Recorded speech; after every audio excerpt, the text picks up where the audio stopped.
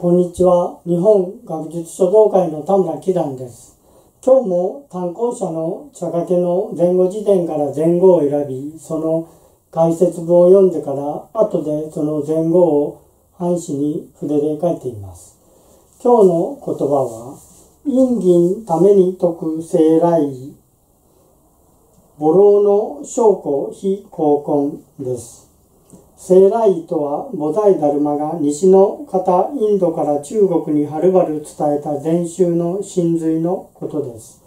さて、それでは丁寧に禅の寛容を教え、教えよう。あの夕暮れの鐘の音をじっくりと聞いてごらんという意味です。